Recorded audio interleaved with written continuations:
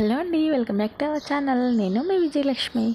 ఈరోజు నేను దోసకాయ పిక్కి ఏ విధంగా చేస్తారో ఈ వీడియోలో చూపించబోతున్నాను.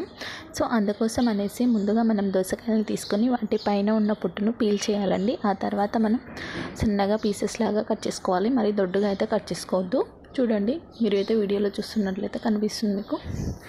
సో ఆ తర్వాత స్టవ్ వెలిగించి కడాయి పెట్టుకొని అందులో ఆవాలు వేయించుకోవాలి.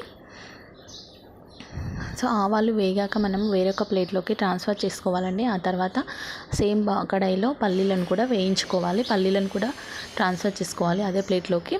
ఆ తర్వాత మనం సేమ్ కడాయిలో ఆయిల్ పోసుకోవాలండి. అండ్ ఇక్కడ మనం పోపు చేస్తున్నాము. సో అందుకనేసి నేను ఆయిల్ బాగానే వేసుకున్నాను. పచ్చడి కదా ఇది. అందుకనేసి ఒక త్రీ స్పూన్స్ అయితే అలా వేసుకున్నాను. సో ఆ తర్వాత పోపు దినుసులు ఆవాలు అండ్ ఎండుమిర్చి కరివేపాకు కొత్తిమీర పసుపు అండ్ ఎల్లిపాయలు. ఇవన్నీ పోపులో యాడ్ చేసుకొని మనం ఈవెన్గా కలుపుకోవాలి. ఆ తర్వాత మనం ముందుగా వేయించి పెట్టుకున్న పల్లీలను అండ్ ఆవాలను మిక్సీకి పట్టుకోవాలి మెత్తగా. సో ఇవి మిక్సీకి పట్టుకున్నాక చూడండి ఈ పౌడర్ని మనం ముందుగా ప్రిపేర్ చేసి పెట్టుకున్న ఆ పోపు మిశ్రమంలో యాడ్ చేసుకోవాలి. సో చూడండి పోపు అనేది నాకు రెడీ అయిపోయింది కదా. అందులో ఈ మిశ్రమాన్ని నేను యాడ్ చేస్తున్నాను.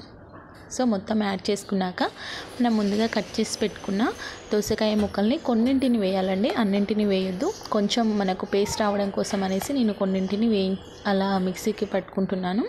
మరికొన్ని ఉన్నాయి అవి లాస్ట్కి యాడ్ చేస్తాను. సో ఫస్ట్గా ముందుగా కొన్ని అయితే మనం ఇలా ఈ విధంగా పేస్ట్ చేసి వేసుకొని ఆ ఫ్రైలో వేసుకోవాలి.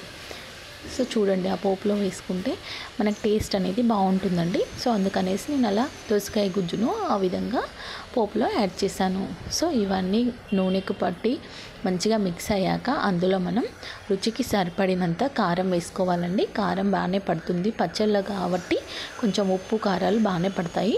సో మీరు టేస్ట్కి తగ్గట్టు చూసి వేసుకోండి. సో ఆ తర్వాత ఉప్పు కారం ధనియాల పొడి యాడ్ చేశాను. సో ధనియాల పొడి ఇవన్నీ యాడ్ చేశాక ఈవెన్గా కలుపుకోవాలండి. నీట్గా సో చూడండి మనకి ఎలాంటి టెక్స్చర్ వస్తుందో చూడండి ఈ విధంగా వచ్చేసింది గ్రేవీ అనేది.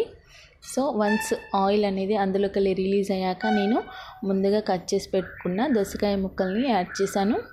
సో ఈ ప్రాసెస్లో అయితే చాలా టేస్టీగా ఉంటుందండి. ఒకసారి అయితే ట్రై చేయండి. అండ్ దోసకాయ కర్రీ తినరు అని పిల్లలు తినరు అని చాలామంది అంటుంటారు కదా ఈ విధంగా చేస్తే మాత్రం కంపల్సరీగా తింటారు. ఒకసారి అయితే ట్రై చేయండి. అండ్ ఇదండి. సో చూడండి ఎంత ఎమ్మీగా కలర్ఫుల్గా బాగుందో. సో మీరు కూడా ఇంట్లో ఒకసారి ట్రై చేయండి. అండ్ ఈ వీడియో కనుక నచ్చినట్లయితే లైక్ చేయండి షేర్ చేయండి సబ్స్క్రైబ్ చేయండి. And thank you for watching my videos.